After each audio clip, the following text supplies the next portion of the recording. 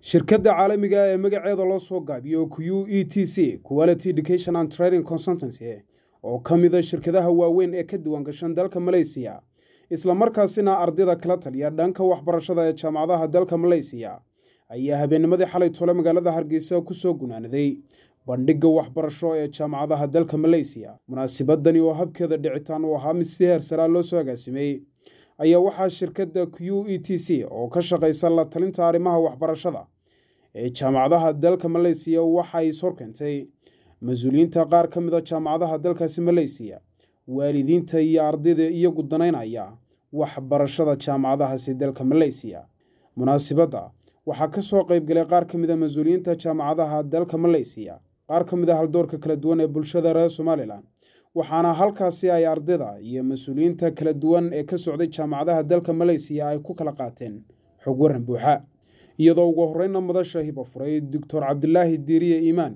oo faahfaahin ka bixiyey adeegyada waxbarasho ee dhanka la talinta jaamacadaha dalka maleysiya ay bixiso shirkadda q e t c. Jiidatay indhihii caalamka.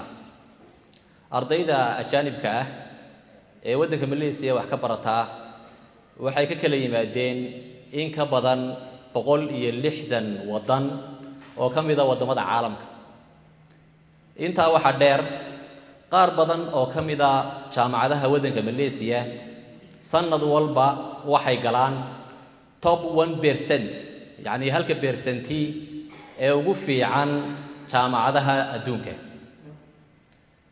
Horumarka intaa leeg runtii waxay ku gaadheen muddo aada u kooban. Tusaale ahaan oo kale boqolkiiba sagaashan jaamacadaha waddanka maleysiya da-doodu waxay ka yartay soddon sano oo keliyaata taa macnaheedu waxa weeye haddii maleysiya ay ku yaallaan siddeetan jaamacadood in ka badan shan iyo lixdan jaamacadood ayaa da-doodu waxay ka yartay soddon sanno soddon sanno wixii ka horreeyey jaamacadaha waddanka maleysiya runtii farakutiris bay ahaayeen. Kow laba saddex afar shan baa lagu telinaya horumarka intaa leeg ee waxbarashada sare ay gaadheen waa soddonkii sanno u dambeeyey. Marka hore waxaan jecelahay kolley inaan xuso oo aan idinla wadaago in aan ka mid ahay aniguna ardayda waddanka maleeshiya wax ka baratay. Runtii ee waxbarashada maleeshiya u tagtay. Marka marka kolley mashruuc ama arrin waxbarasho oo maleeshiya la soo qaado waan waan soo ordaa runtii. Haddaan markaa xataa soconaya waan iska soo ordaa. Waayo waxay leedahay kolley qof waliba uu garanayaa oo waddanka ama uu soo deganaa ee uu ku soo noolaa ama uu waxbarashadiisii iyo tacliintii wax kaga soo qaatay runtii wuxuu u samaynayaa dareen gaara rag fara badan oo halkan fadhiya oo wejiyadoodu ii muuqdaanna waxaan dareensanaya inay qaabkaas oo kale uun runtii dareemayaan. Universities companies and so on. So and all of you I think many of you here uh, who are alumni from Malaysian University can verify what uh, I'm about to share with everyone. The first one is uh, why you should study in Malaysia is Mal Malaysian universities are world-class universities. We are. kaaga soo qof ku waxa ugu horeeya kugu soo dhacaya waa inta intaad shaar koodh xidhan tahay intaad koodhka bixisaad ku tuurto si aad u asturto. Waxaad siinaysaana waxay tahay oo keliya waxaad haysata ee kaa go'a weliba. Ma aha inaad waxaad adigu haysato dhan siinayso.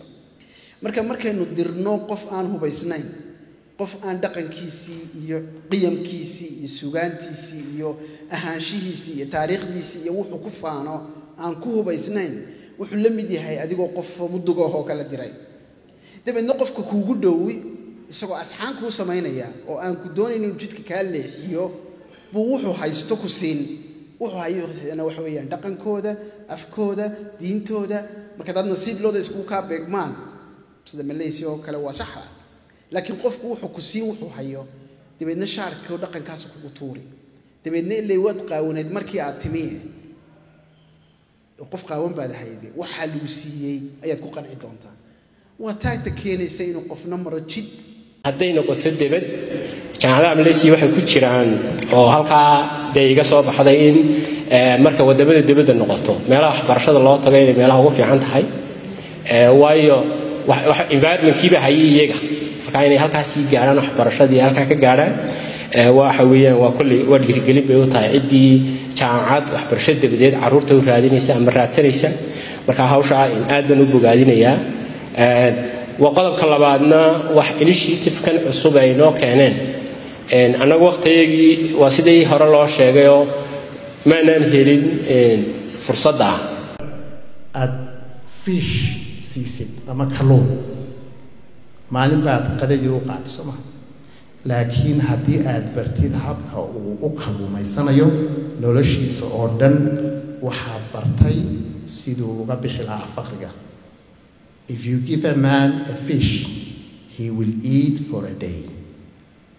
Teach a man how to fish, he will eat for life.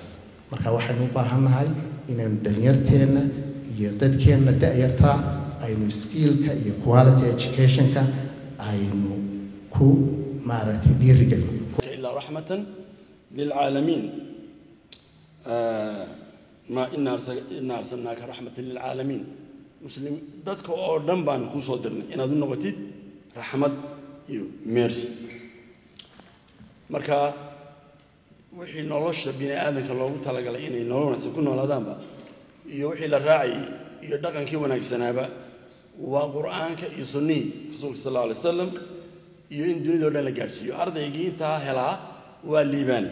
Marka ood la ogaan karto waxa ay baranayaan waddanka jaamacadaha ka geliyo nimanka ku shaqeeyo ku xamaal ayaa aan la kulmay q e t c cabdilaahi runtii niyadda ayaa ii qabowday wixii aan doonayay iyo wixii aan tabayay ayaan helay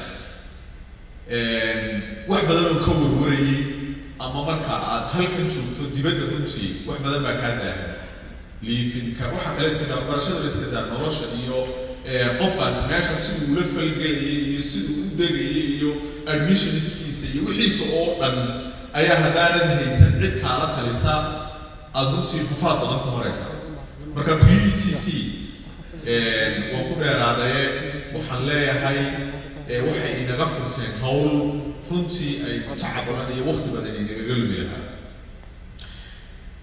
talow xaggee baad ku tukan doontaa malaysia waa meelaha aanad ka fikraynba meel alla meesha ay salaadu ay markaa lagu eedaamo there's a masjid.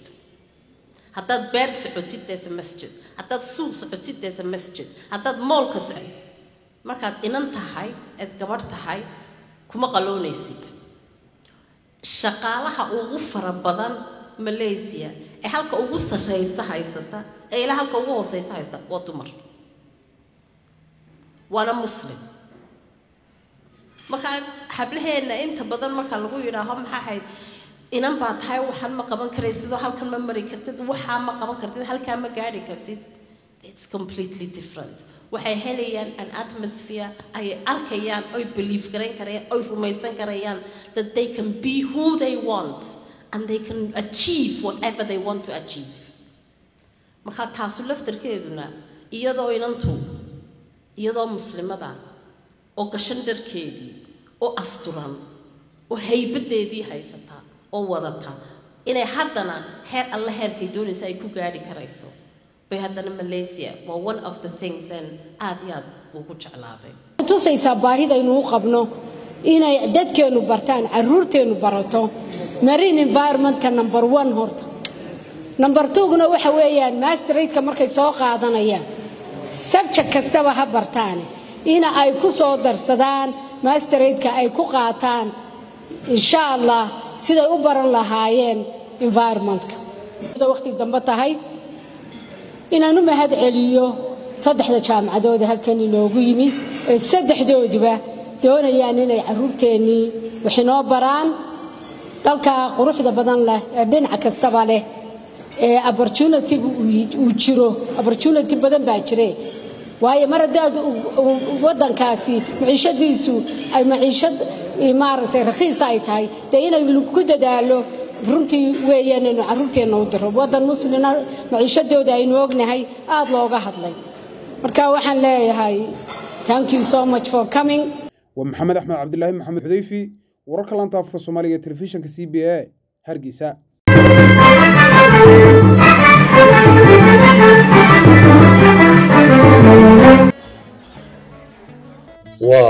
oo sabiilkiisu fiicay saaxiibe waad ka heshay sooma maasha allah saaxiib maxaad ku shubatay waxaan ku shubtay xidhmo furan.